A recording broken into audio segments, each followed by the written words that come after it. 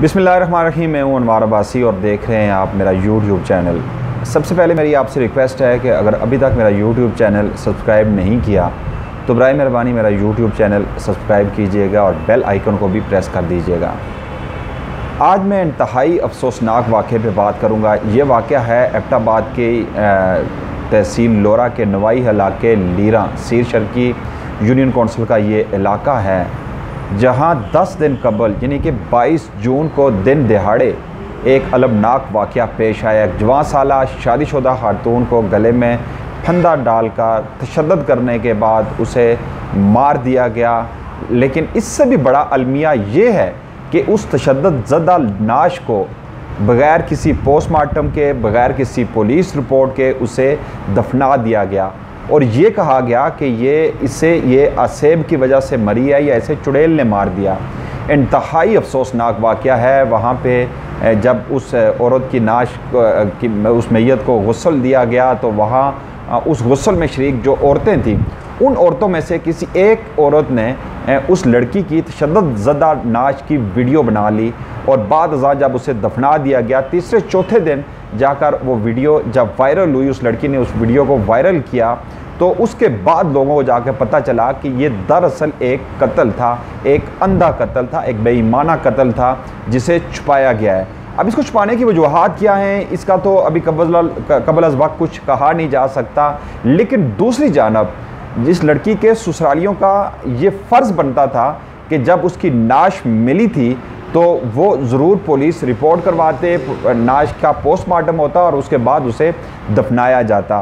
بظاہر جی لڑکی جس، جو اس کا والد ہے، انتہائی غریب شخص ہے اور یہ بتایا جا رہا ہے کہ وہ دیاڑی دار شخص ہے وہ اس کا یہ کہنا ہے کہ ہماری کسی سے نہ تو دشمنی ہے اور نہ ہم کسی پر شک کر سکتے ہیں۔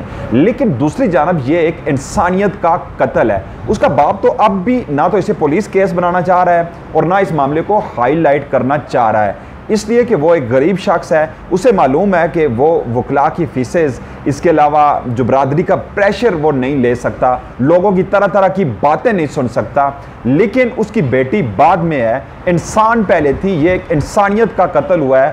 اور ایسے علاقے میں ہوا ہے جو ایک امن کا گہوارہ تھا، جو اسلامی روایات، مشرقی روایات کا ایک آئینہ دار علاقہ تھا، ایک پر امن علاقہ تھا جہاں پر انسانیت کی قدر ہوتی ہے۔ وہاں پر ایک خوبصورت خاندانی سسٹم ہے، رشتوں کا احترام کیا جاتا ہے۔ یہ واقعہ اس علاقے میں پیش آیا۔ اب بہت سارے سوالات اس قتل کے پیچھے چھپے ہیں۔ اس کی جب تک آزادانہ طور پر تحقیقات نہ کی جائے، شفاف تحقیقات نہ کی گئی، اصل ملزموں کو، اصل جو اس کے مجرم ہیں، انہیں کیفر کردار تک نہ پہنچایا گیا، انہیں بے نقاب نہ کیا گیا، تو پھر آپ یقین جانیں کہ یہ علاقے، تحصیل لورا کے یہ علاقے کسی طور پر بھی محفوظ نہیں ہیں۔ آج ایک غریب کی بیٹی مری ہے کل کسی بھی شخص کی، کسی با اثر کی بیٹی بھی خدا نخواستہ ایسے ہی واقعے کی نظر ہو سکتی ہے۔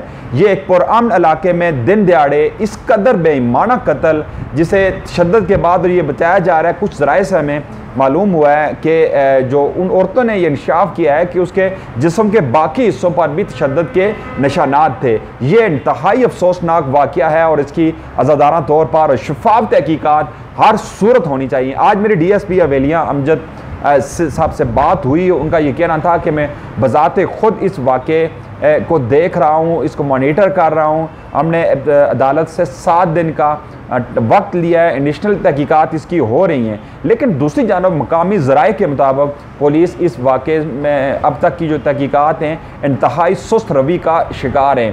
دوسری جانب جو ورساہ ہیں، وہ اسے پولیس کیس نہیں بنانا چاہ رہے۔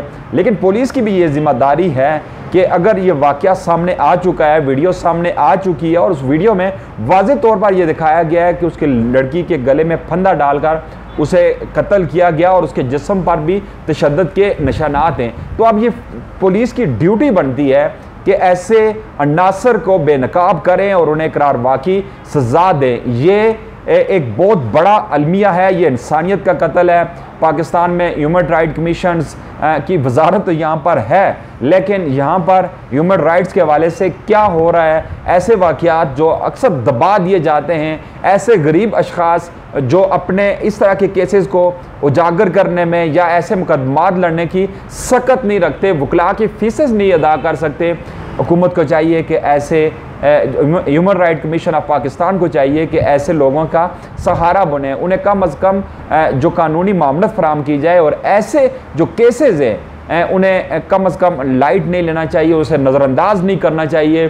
ایسے کرداروں کو جو اس واقعے میں ملوث ہیں، انہیں قرار واقعی سزا دی جانی چاہیے تاکہ وہ عبرت بنے اور ایسے پرامن علاقوں میں ایسے واقعات نہ ہوں۔ آج کے لیے اتنا ہی۔ انشاءاللہ اگلے پروگرام میں آپ کی خدمت میں پھر حاضر ہوں گے۔ تب تک کے لیے اجازت دیجیے گا۔ اللہ نے کے بعد۔